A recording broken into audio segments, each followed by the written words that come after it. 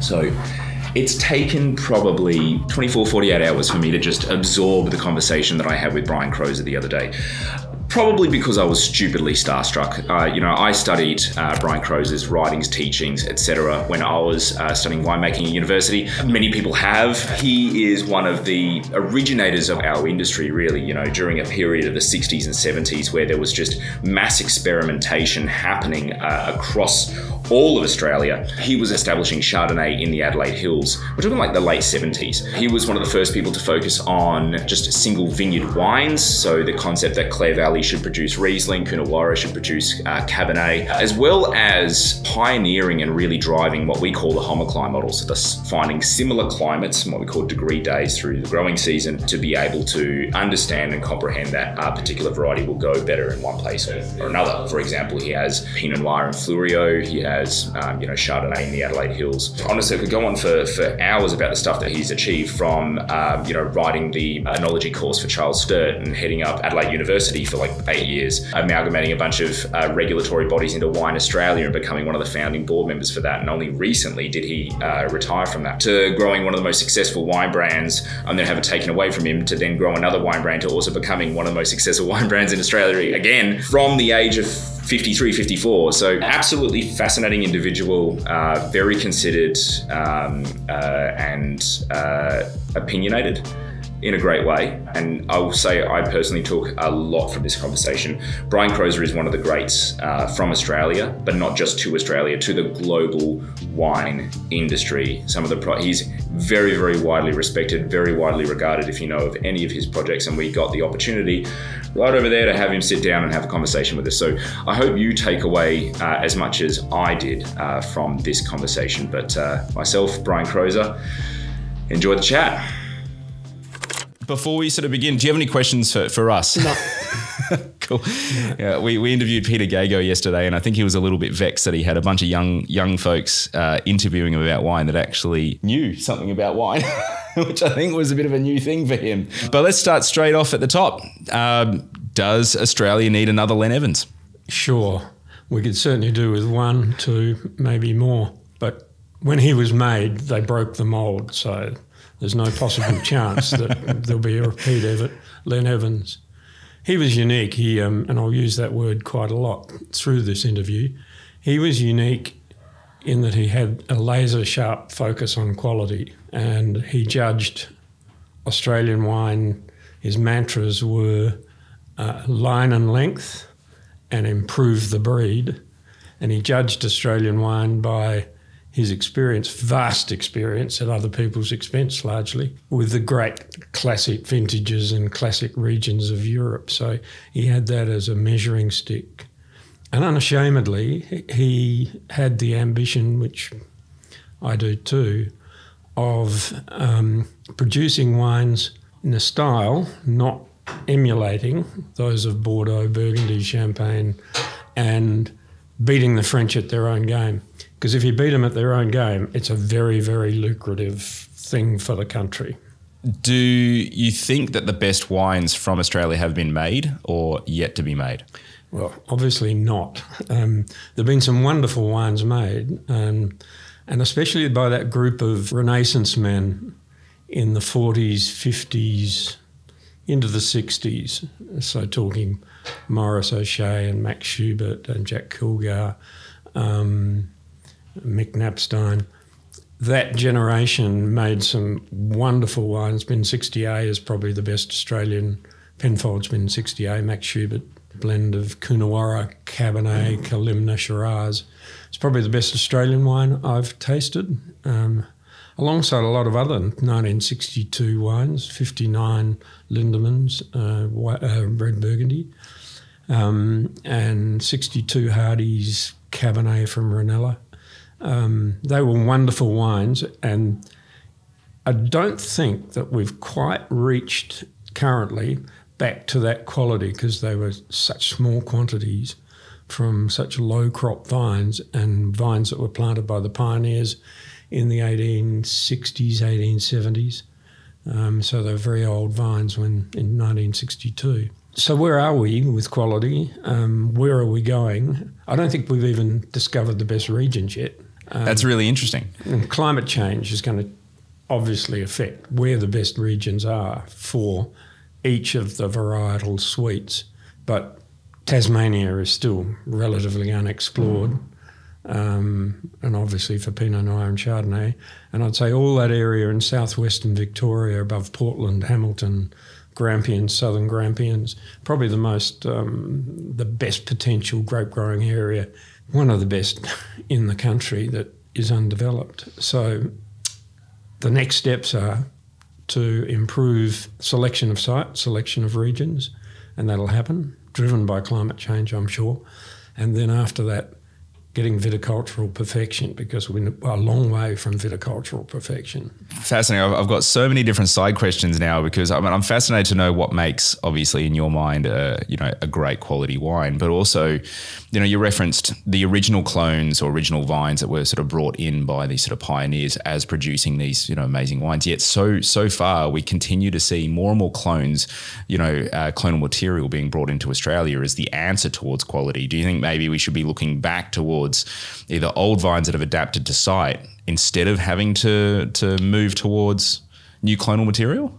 I think having the diversity and the choice mm. is wonderful, and there's no question some of the old clone, some of the old selections because they're not clones, are um, exceptional. And I can talk about the Chardonnay in our Tiers Vineyard that I planted in 1979, thinking it was OF, which is a Californian University of California clone, and I actually probably originated in Mudgee from Busby's collection at Kirkton and the Hunter.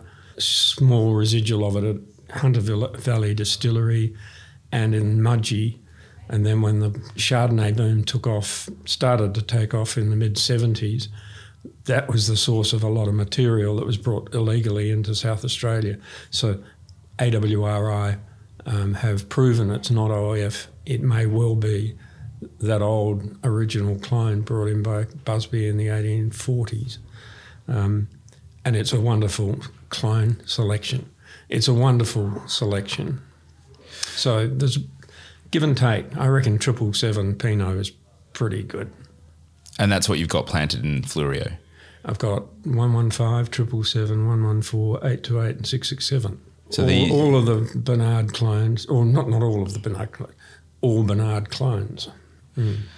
I was talking to uh, a couple of chaps from Coonawarra uh, a couple of days ago, actually, just at, a, at, a, at an event, uh, and they planted their vineyard in 1968. And I was like, oh, that's really interesting. I'm, you know, talking to, to Brian Croser this week, planting his vineyards in the, the sort of late 70s. What was it like back then? Because right now, the concept of going going to a new place, you know, a new area, planting a vineyard, even now makes me feel like a cowboy. Uh, mm. You know, back then it must have been. It's so much easier to conceptualize planting a vineyard in Coonawarra or the Adelaide Hills now than it must have been back then. It must have just people thought you would have been weird. I was told that the Adelaide Hills would never grow grapes, it was central Adelaide Hills, because of the rainfall and the temperature, and that's because most of the vineyard managers of the time um, were used to the hot, arid vineyards of um, of the inland. Pretty much all the Coonawarra managers came from Mildura um, and the South Australian Riverland. There was a lot of innovation in the 60s and 70s. I mean, Seppelts went to Keppoch Padthaway in mm. 1967, and Hardy's followed in 1969. Orange, the first plantings there were about that time. Obviously, it was later in the Adelaide Hills, 1979. The Pyrenees in Victoria, Cowra in central New South Wales was an exception, but uh, different sort. Mudgee had expanded, Yarra Valley had been reinvented, Bellarine Peninsula was on the way to being reinvented. So, um, and Carl Seppelt, who was responsible for Padthaway had also planted at Drumborg, which is in that area I talked about. The Drumborg. The bottom of the, yeah, yeah. Between the bottom of the Grampians and Portland on the edge of the Great Southern Ocean. So it wasn't so strange to go to a new area. In fact, out of our 65 regions, I think around 20 were invented between Wow. The 60s and the 80s. So it was sort of all the rage. Yes, it was all right. It seems that innovation in the wine industry at the moment is more technological than it is about viticulture or agriculture. What's your sort of take at the moment on the the no alcohol movement or no alcohol wines? Um, I don't. It's ex wine, so It's not wine anymore. It's like it's like Cleese's ex parrot. It's ex wine, and it's competing with ex other alcoholic Hmm. beverages. So I don't regard it as as wine in the sense that Len Evans would have said this Hmm. is fine wine that I believe is fine wine.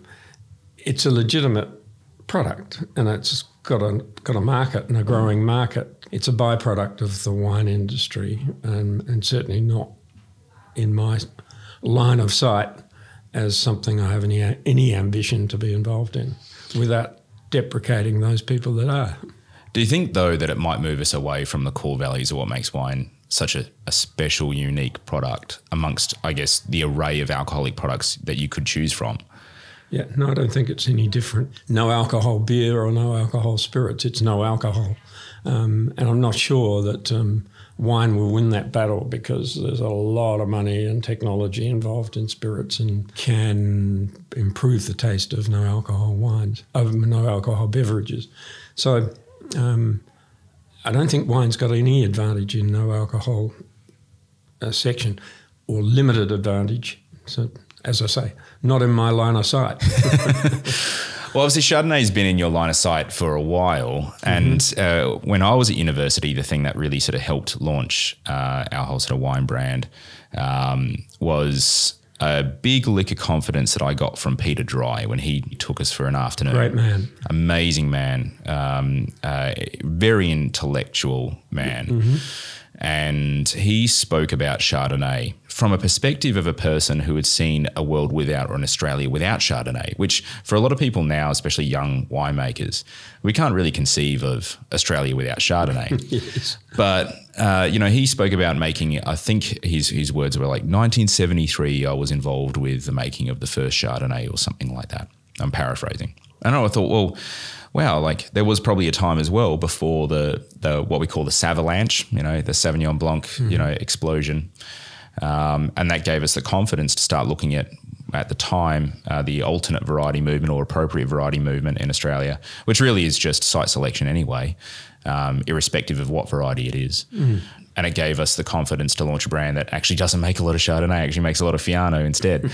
um, you've seen obviously the at your inception, you're a Clare Valley boy, and you saw the at the time Riesling was all the rage, and then it wasn't. Yeah, it was the glamour variety of the whole industry when I arrived. So, winning the trophy for the best Riesling at any wine show was, It's a, huge. was a huge boost.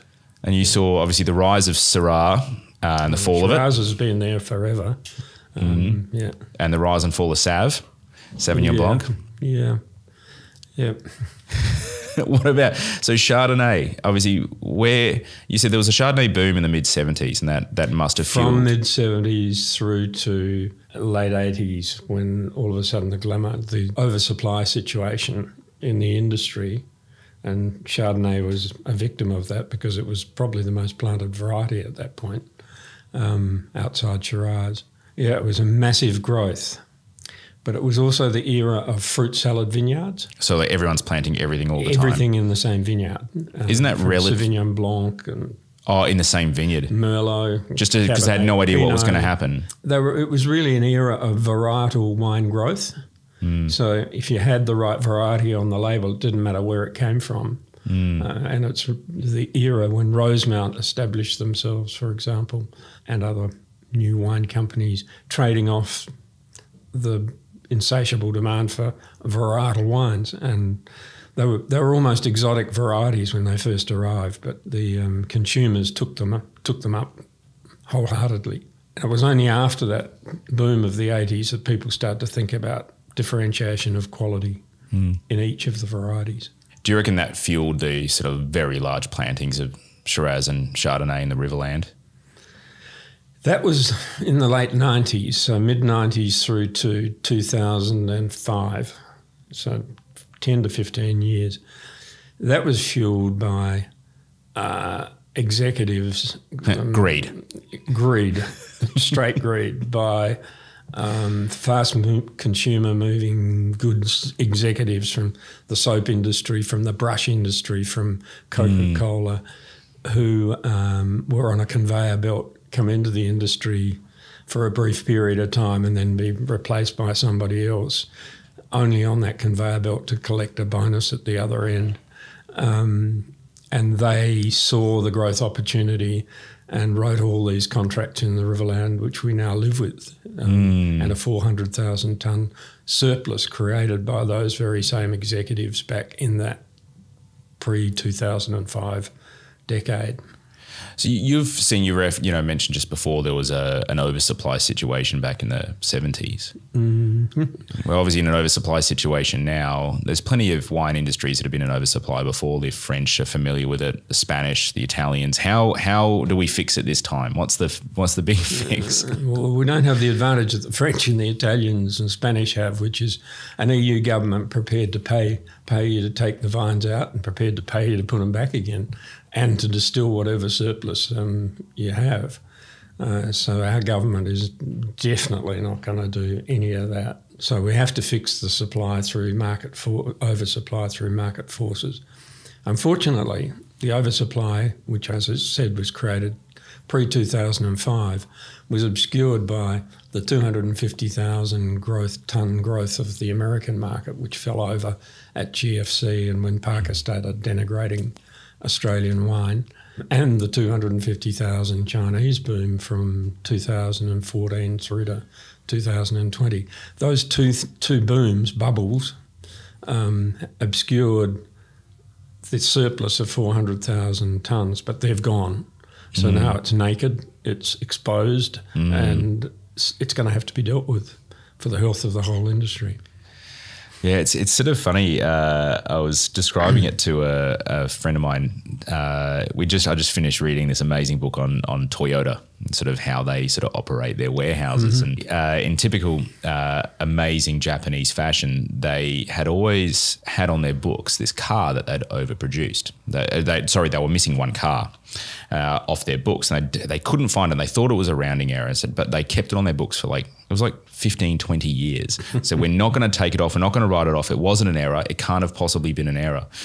Uh, until they had a new executive come in with a new sort of idea of managing stock levels on a sort of just in time basis. And in one of their windscreen um, warehouses, uh, he said, Well, we're sitting on way too many windscreens. We're going to get rid of it all because we planned, we, we overproduced them and we, we have all this extra stock. It's costing us all this money and no one's going to use it. It doesn't really matter if we get rid of it. We should, we should deplete those stocks and expose all of our weaknesses so we can improve them. And uh, in doing so, they actually found this car buried in this warehouse, surrounded by windscreens. You know, it's it does seem that um, you do, and this sort of mentality um, in the industry at the moment, because a lot of people are obviously crying poor, but it does seem that the pain of changing is drastically becoming less than the pain of staying the same. Yeah, I hope that's the case, and I hope it's the worst vineyards and worst varieties and mm. that go. And obviously, the Riverland is taking the brunt of this, even though the Riverland isn't the sole source of the surplus, and mm. a lot of the sur- surplus is coming out of nearly half, coming out of the cooler climate areas, the Shiraz planted in Barossa and McLaren Vale and so on, during the Parker boom from mm. 2000 to 2011. Um, but the onus then falls on the Riverland because that material out of the cooler areas displaces from Yes. non-premium product displaces the Riverland. Mm. So the Riverland gets the full brunt of the 400,000 tonne surplus. Uh, there's a grower around the corner here who's been acquiring vineyards because on this side of the hills we don't have. I mean, we do have plenty of smaller lot holders, but on this side of the hills was more the, the I guess the workhorse of a lot of the, the the Adelaide Hills plantings. You know, the Casellas came in and planted, Grant Burge came in and planted quite heavily, and a lot of these vineyards are being round up by one or two larger groups of growers, um, who one in particular has or is planning to have a thousand hectares of Chardonnay planted through through the hills do you feel somewhat vindicated that that you know since the 70s you've been banging on about Chardonnay in the hills and it seems like now it's at least from what we're seeing so many people are now just going well this is the default mode for for the hills now is Chardonnay Yeah. Adelaide Hills has um, earned the respect of consumers for Chardonnay, and it is not a boom time, but it's a sustainable, a sustainable situation for Adelaide Hills Chardonnay. What I fear is further growth without quality improvement, because the thing that will keep Adelaide Hills Chardonnay in the for, in the spotlight mm. and keep it earning a premium is quality improvement, and quality improvement's mostly going to come from vineyard. Um, and so, my real question would be of that person who owns the thousand hectares, what are you doing about improving the quality of grapes um, and uh, taking it to the best of the vineyards of Europe? Because mm. that's the opportunity. That's actually interesting. We presented a uh, masterclass at ProWein this year, actually, for the Adelaide Hills, mm-hmm. uh, specifically in Chardonnay. Uh, and there was a group of MWs, God bless them, uh, in the crowd that asked a very pertinent question, actually, which was why should we support Adelaide Hills Chardonnay beyond South Africa, beyond New Zealand, beyond America? And it seems to be cheaper. And they seem to be doing very good at it, um, you know, and they're very good in market with it? What's the compelling sort of reason?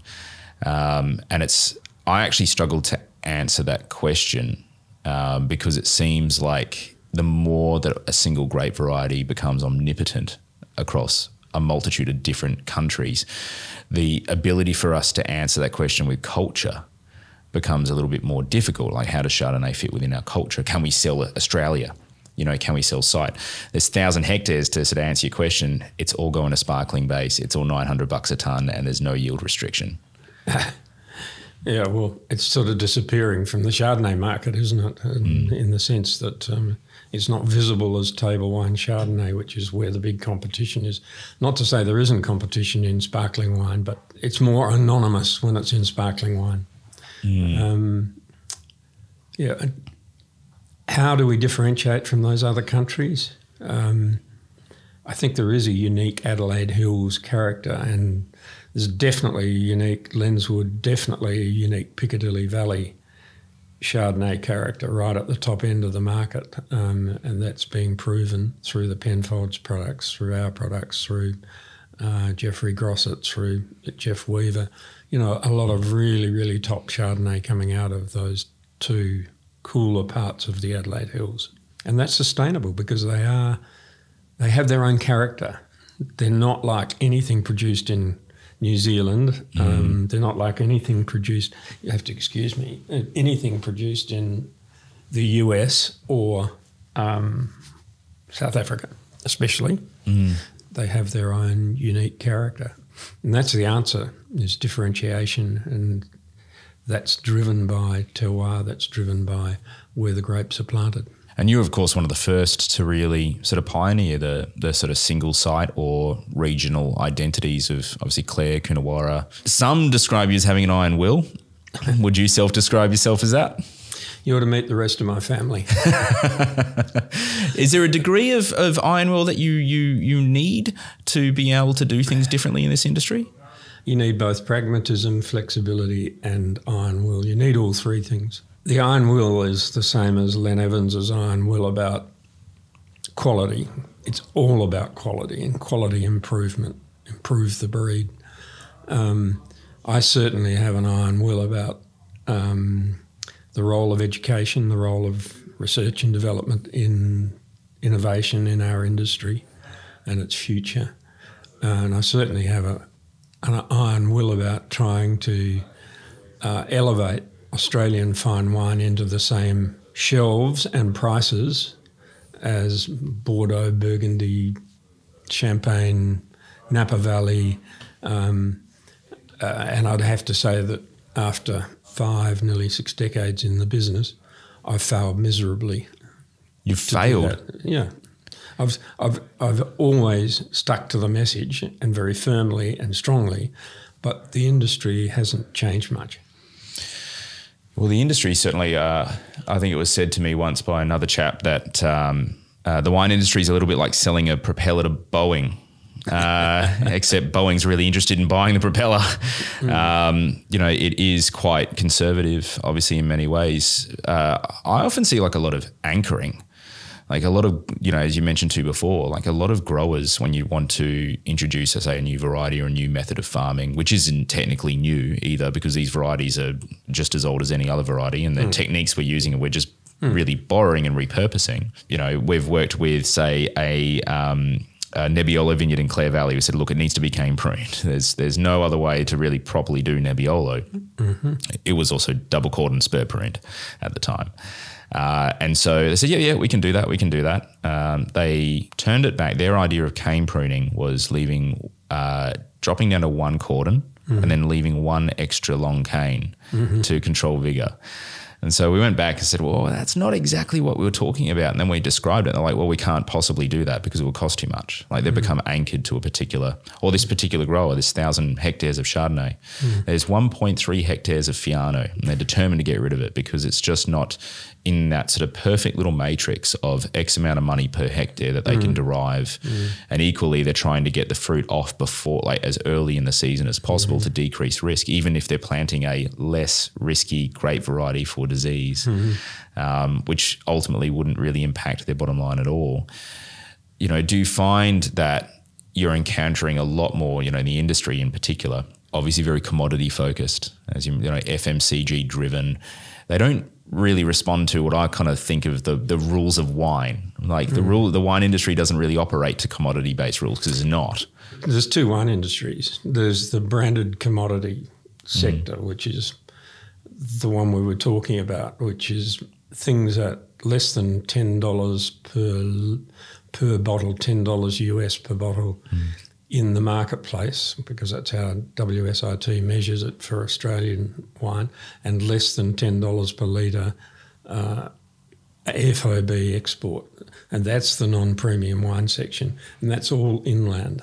And the problem is that's so vast and uh, so visible that Australia is branded as a, an industrial producer of wine from hot inland irrigation, mm. vast uh, vineyards, and that obscures because it's conflated with um, our fine wine regions, obscures Australia's fine wine position. So we've just got to find a way of, and this is what I failed at, is to make sure that the two things are viewed differently, dealt with differently at uh, research and development level and at marketing level, and we focus on the expanding market of the globe, which is fine wine, mm. and we don't focus on the diminishing market in the whole globe, which is non premium wine. Mm. It would need a lot of reform within Wine Australia for that to happen. Uh, wine Australia is just a, a, a tool. It certainly doesn't have too much influence on anything other than allocation of funds to R&D and it's now trying to starve the AWRI mm. of funding in favour of federal collaborative projects which advance the causes of of um, the people concerned and spread the funds further into the inland and to the eastern states away from South Australia, away from the AWRI, which would be a disaster if that happens. Is it possible for inland wine, as we call it here, to make truly fine wine? Not truly fine wine, make very good wine. Um, and with Peter Dry's techniques in the vineyard and with careful, sophisticated winemaking technology, which there's no shortage of in the Riverland, you can make very good wine. But in the true sense of the word wine to compete with the best of Burgundy, the best of mm. Bordeaux, mm, which difficult. is where I am, um, where my ambition is. Um, that's never going to happen in the Riverland. I mean, that's the the very time proven, scientifically proven difference between those climates of the cooler areas mm. and uh, the inland areas and the effect they have on grape mm. quality. Well, obviously, step one, if you were, were establishing any kind of vineyard anywhere to make truly great wine, would be obviously really good uh, site variety pairings, mm-hmm. matches. How do you go about that? We were always taught the homoclime model. Is that the, the best sort of beginning model of that? what's the what's the approach? Well, for me, it's the other way around. I wanted, wanted to grow Chardonnay, so I go and find the place to grow Chardonnay, not find the place and then decide that Chardonnay is what should be grown there. Um, and when I when I pioneered Foggy Hill, it was to find the place to grow Pinot Noir. So it was that Pinot wasn't a retirement project that went rye. It is, yeah. uh, There's no no such thing as retirement, but um, cer- certainly it's a sun it's a sunset project. Let's put it. That way. okay, to be absolutely fair, because your family has uh, a pretty rich history of farming out that way. they do. Um, I think five sets of my eight great great grandparents arrived in this country and farmed there. So. Um, from Hindmarsh Island through to Rapid Bay, which is Croser country. Or Croser country and sheep country, I imagine. cattle and sheep, um, and originally quite a lot of cropping on Hindmarsh Island, and Rapid Bay. yeah, the soil ran out of nutrient, and it was before the day of um, of um, fertilizers.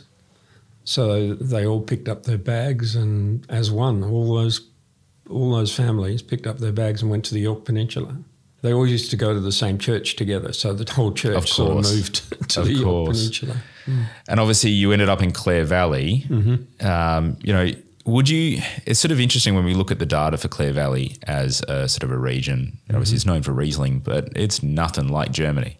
Oh no, no, no. So, how does one arrive on on this is the perfect place to plant Riesling there? that's experience, that's mistakes and successes. Um, it's proven over time that it is, but it produces a very different style of Riesling to Germany or to Alsace, more akin to Alsace. A little bit warmer. Yeah. Um, it- I can't explain it. It's a mystery, but it's certainly true that the Clare Valley, hot as it is, it's not extremely hot. It's um, 1700 degree days versus Germany down around 900 degree days. Alsace probably around 1100. Produces a unique, very distinctive aging Riesling that answers all of the descriptions of fine wine, hmm. which is that it is fresh, very fresh, very intense, complex. Mm-hmm. Fruit characters are not simple, they're mm-hmm. complex. The wines are balanced, they have texture, and they have length, hmm. and they age beautifully. So they are the characteristics of great wine wherever hmm. it's made. And certainly Riesling is great from Clare.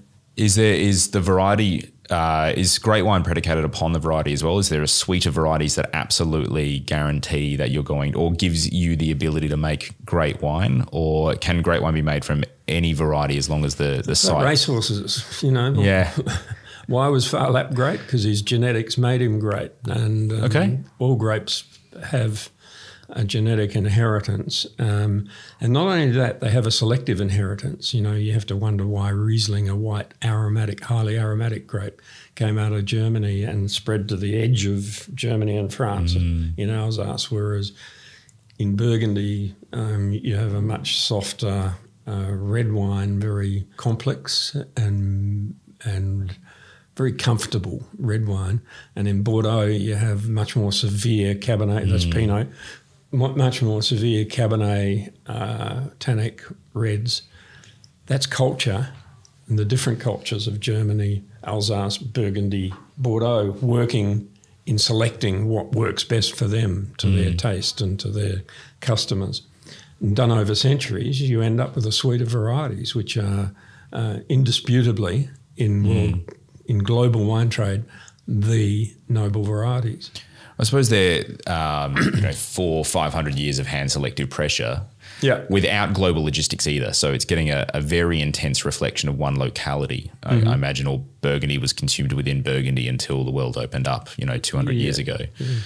Uh, and of course, they would have had to Mostly in the monasteries, by the way. Of course, of course, yeah. yeah. Only the church got the really good stuff. Hmm. Um, the uh, I was uh, chatting to Peter Dredge the other day, and something in my research came up that I, th- I just thought this would be a really fun question to ask. A bit cheeky. Obviously, you were uh, are a massive advocate for reductive winemaking. You know, some would actually say. Protective winemaking. We should say, yeah, protective. Reductive is probably a bit of a rude term for it well, no, it's not reductive, it's protective. it's protective winemaking, whereas uh, sp- obviously particularly with Riesling as well. yeah.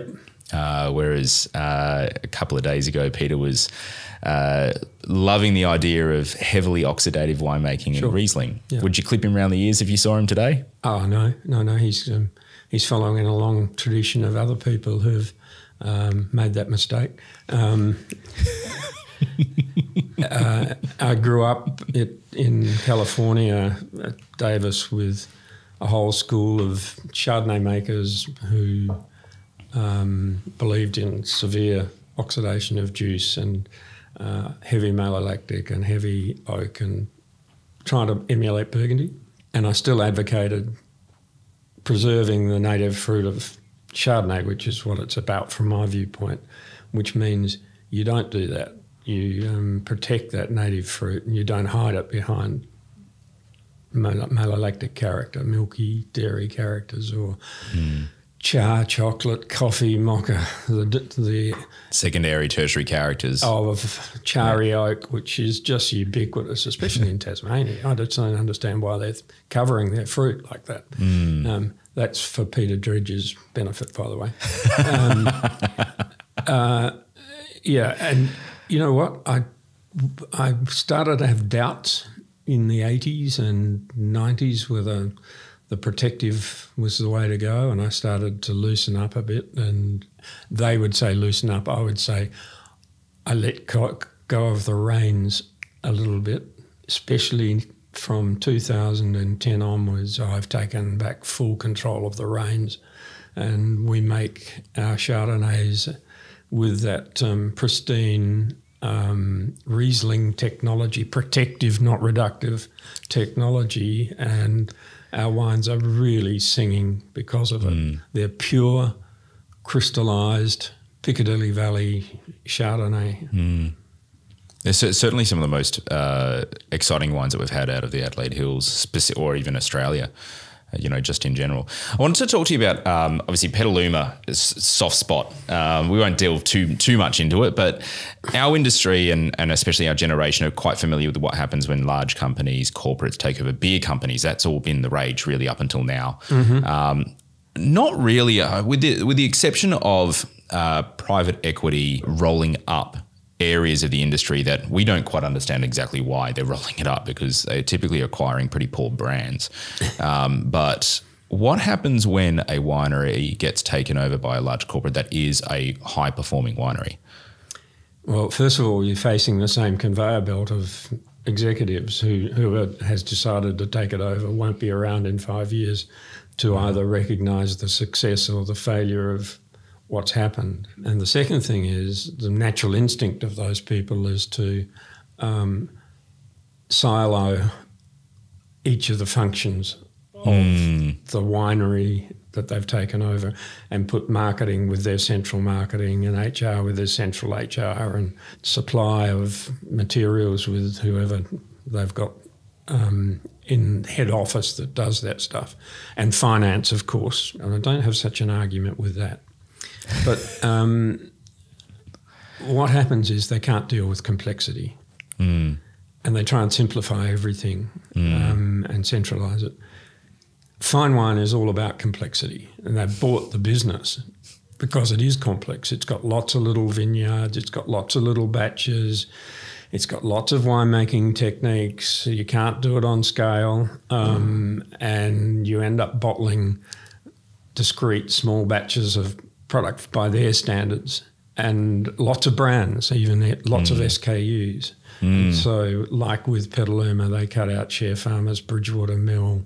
Um, mm. they've turned Croser into a um, an alternative to flavoured entry-level spirits sparkling. drinks. Yeah, yeah. Um, Is that hard for you to swallow? Oh, You see look, your I'm, name? I'm divorced. I'm divorced from it. Except I, I often get trapped by saying the Petaluma Winery, or you know, of course. it's part of my life from from 1976 to 2001 when the takeover happened, and I continued on as winemaker after that. Yeah, no, that doesn't, doesn't cause me pain anymore. It caused me a lot of pain in 2001 when I was 53. I had the rest of my life plotted out, and all of a sudden I didn't have what I thought I had.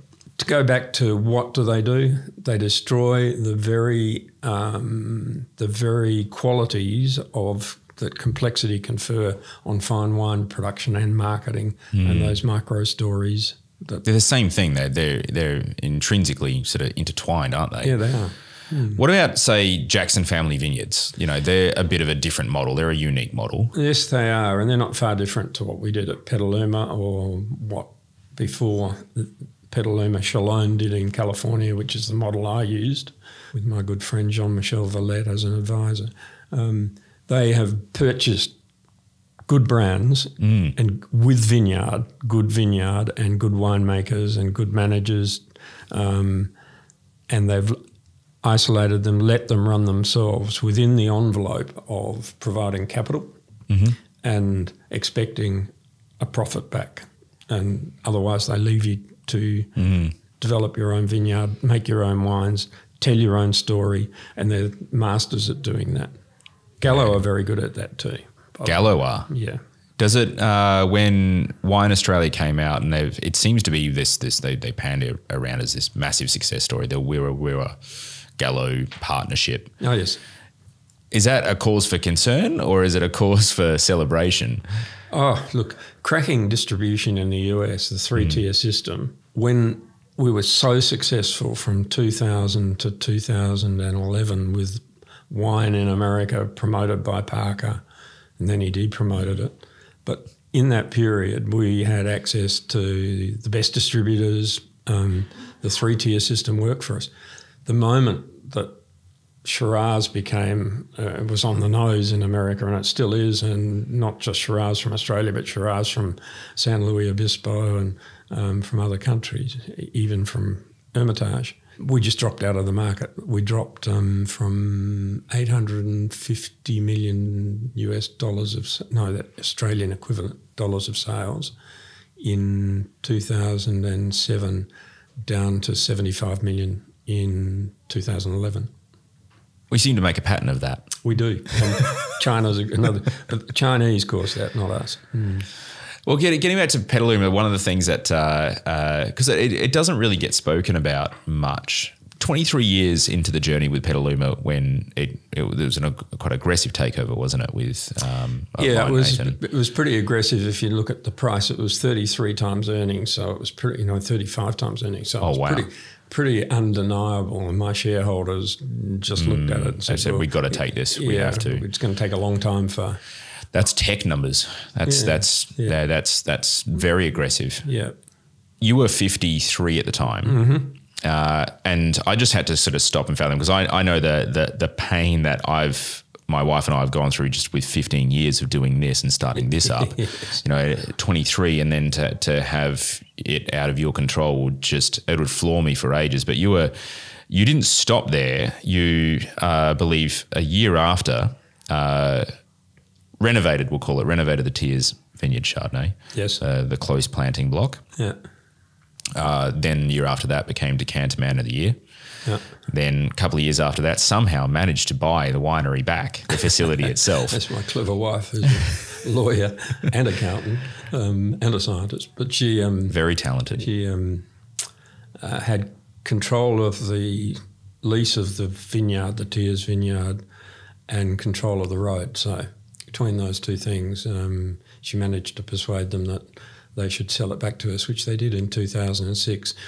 And then they were going to move out in three or four years, and the GFC hit and changed their plans. Also changed our plans, by the way.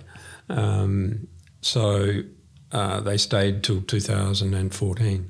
And of course, they acquired that land up the back of Woodside Way and, Built a winery for yeah. Best part of 30 million. and then sold it. Seven years later 11. Again, that's also a bit of a, a pattern we're seeing in the industry at the moment. These really high prices being paid for for wineries or building facilities and then selling them for fractions fractions of a dollar. Um, can you corroborate again? A bit of a cheeky question.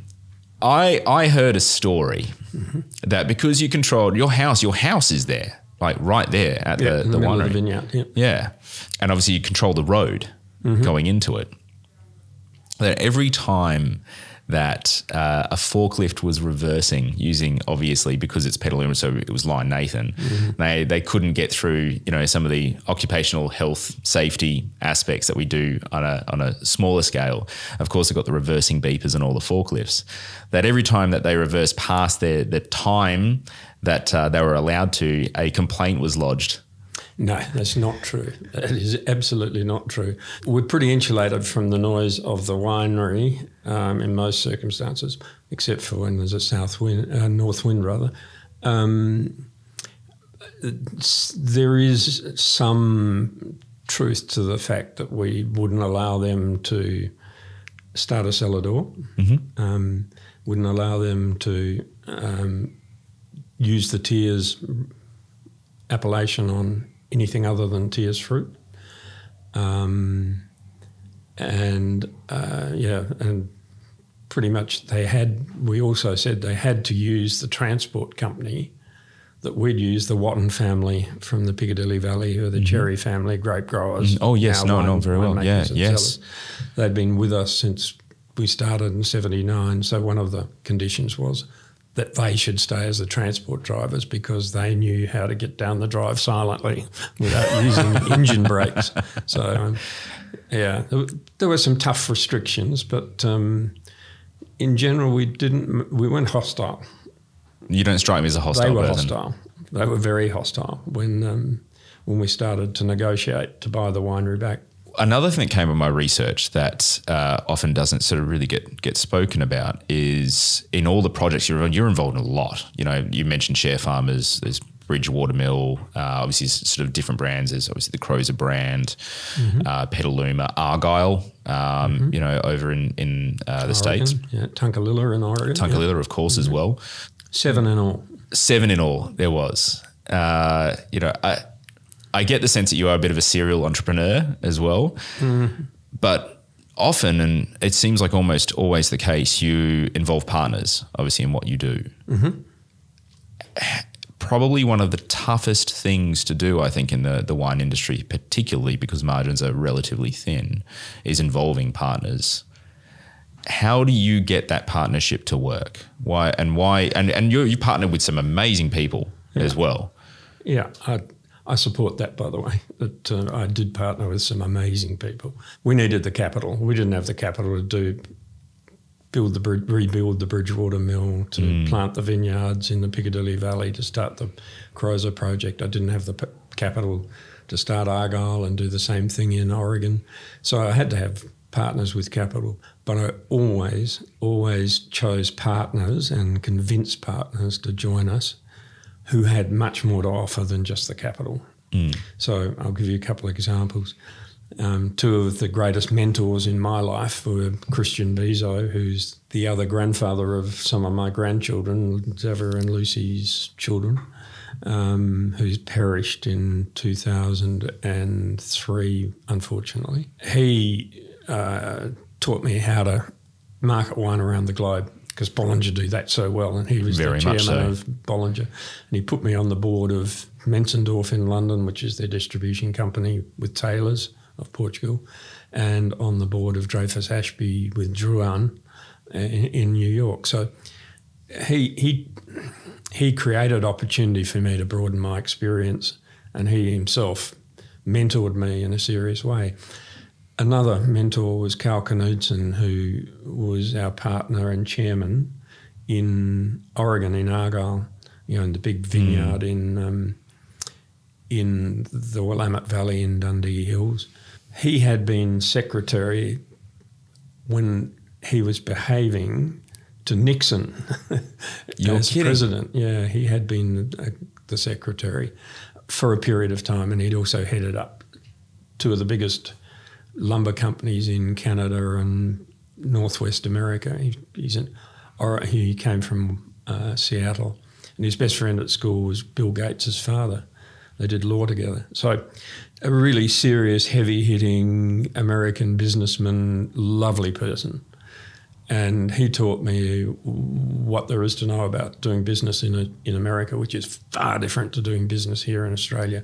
We're kinder to one another here than they are there. Here, Very we much. tend to create a bigger pie, and everybody gets a Yeah. bit of the bigger pie. There, it is simply dog eat dog. You know, it's Competition. Yeah, compet- They're- heavy they're- competition. they are bred from uh, Yeah. being in school. It's all about competition. yeah, Yeah. And um, Cal Cal taught me a lot about how to handle that. It's it's it's for it's not for everyone. Uh, we've got a couple of uh, guys on the road for us that we we fly across there, and of course, you know, Laura and I do a lot of work there. Uh, it can be a lot of fun if you're into that, you know.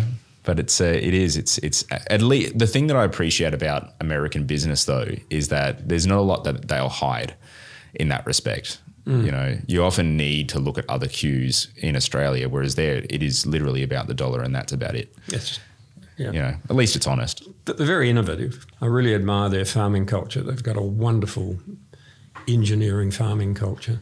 couple of questions to round us off. Mm-hmm.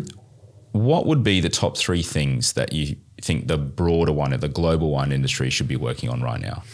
Same problems that Australia has because globally, um, fine wine is advancing by 2.2% a year and um, non-premium wine is going backwards by about the same amount. And that's, that's a decades-long trajectory.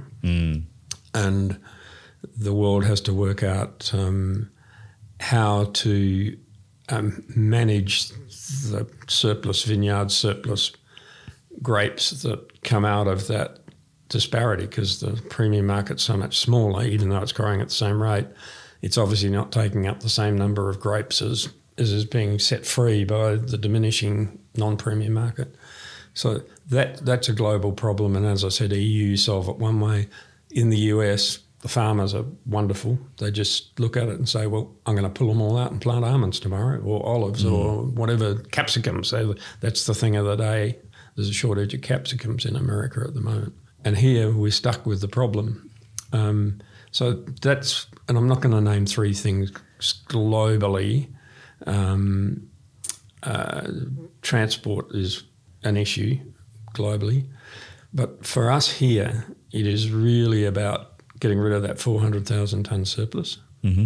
It's about um, uh, promoting our fine wines, our regions, our terroirs, our fine wine stories, instead of spending money on a brand Australia, which means nothing to anybody and conflates non premium wine with premium wine.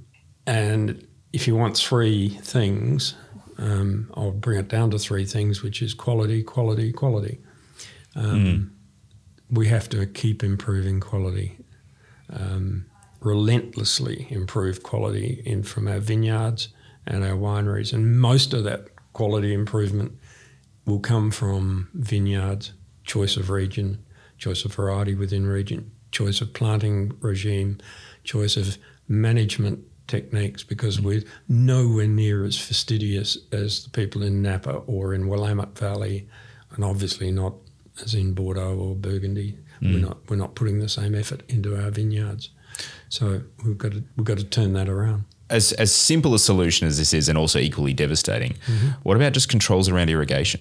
I don't want to get into the argument about whether irrigation is good or bad. Ideologically, you could say, well, you, you're taking water away from the environment, um, you're changing the soil structure, and all of that. Um, and I think there is an argument for that in the riverland that less water is better for quality out of the riverland. Well, you'd find out what the you'd, riverland's you'd more be able to grow. You'd, if you couldn't irrigate your back garden, you'd very quickly figure out what will and won't grow. Yeah, it probably wouldn't be grapevines in most cases. Yeah. Probably wipe out a lot of surplus. no, in, from back gardens, I'm talking about. Of course. Um, irrigation is a broad concept. If a vineyard is totally dependent on heavy irrigation, that's not good. Um, I'm not going to say it's bad, but supplementary irrigation, as we would have in the Adelaide Hills to cope with dry conditions. And I can't think of a single soil in the Adelaide Hills that would stand a, a a- a drought without supplementary irrigation. Jeffrey Weaver would argue because his vineyard at Lenswood, he runs without irrigation, but occasionally irrigates. I don't see it as an ideological problem. Um, I think irrigation fit, fits in, and the Europeans are now desperate mm. to get it legitimised in mm. the face of climate change because they know um, their evaporative demand is going to go up and mm. uh, the temperature is going to go up. So they need more. What do you think about Bordeaux's approach to, well, if they can't just irrigate, they're just going to change the variety? You know, bringing in Touriga and yeah, the likes. That's not, that's not really, yeah, it's not just about irrigation. That's about um, uh, fruit quality coping with climate change. Mm. So they've introduced some Portuguese varieties and some varieties from Italy, I think, mm. that um, are more drought tolerant, but not totally drought tolerant, but have characteristics that. Um, and I think the best example of that would be Touriga Nacional, which I think is one of the great noble varieties.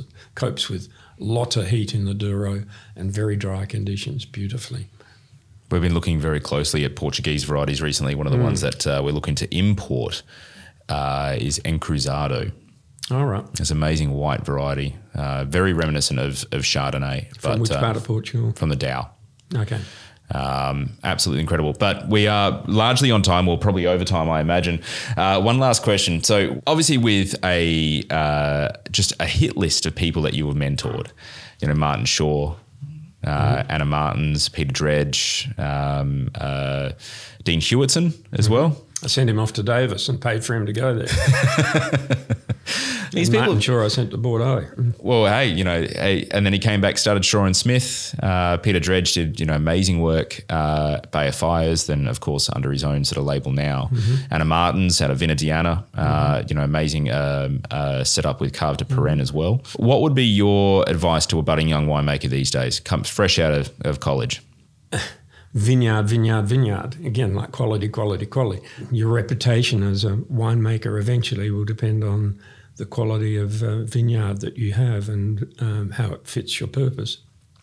Um, the terroir, and that leads to a second thing, which I would say is subjugate your winemaking, sub, subjugate your winemaking e- ego, and make the vineyard the hero, not yourself, which is pretty hard for young people to do. Um, and the third thing would be step up and provide some leadership to the industry um, because A, you owe it to the industry, and B, the industry will be improved by it. And now I'm talking about custodianship of research and development and education and mm. all those things. Um, step up and do you think there's a lack of youth representation in sort of regulatory bodies like Wine Australia? Yeah, serious. And it's been when, when I say lack of, that's been going on for 30 years. So some of the people who were absent as young winemakers 30 years ago are now senior winemakers and they're still absent, which mm. really um, frustrates me because um, we have so much to do. I think it's a lack of appetite for getting involved in what, what can be perceived to be just very boring politics. Well, it's not boring in any way, shape, or form, but it's, if you're selfish and you're really looking at your own business and that's the, the core, and you don't want to get involved in anything else, that's that's what really drives the lack of leadership is mm. people um, not wanting to sacrifice their own time uh, or mental energy mm. on industry issues, which they would see as frustrating and repetitive over a long period of time. And they're right on both those things. Well, yeah. Brendan Carter for CEO of Wine Australia, uh, 2025. uh, Brian, thank you so much for your time today. Is there anything else that you would like to add? Nope. Nope. That's it. Nope. Nope. That was good. Thank you. Okay.